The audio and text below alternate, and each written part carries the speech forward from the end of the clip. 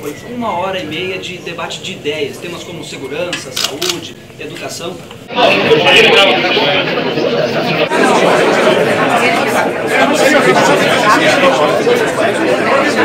Foi uma oportunidade de ouvir também as críticas e as projeções.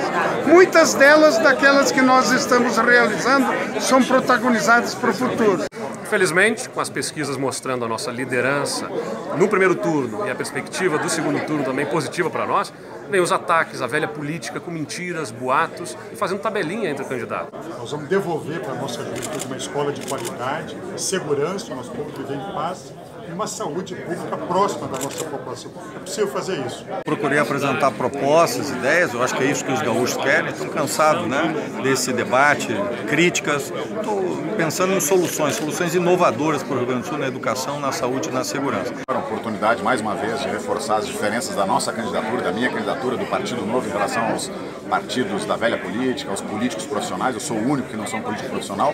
Num debate como esse, as, as, as condições são iguais para todos. Nós podemos apresentar nossas propostas, nós temos propostas que mostram onde estão os recursos para melhorar a vida do povo gaúcho, para pagar em dia os servidores, para pagar o piso do magistério, para investir em saúde e segurança.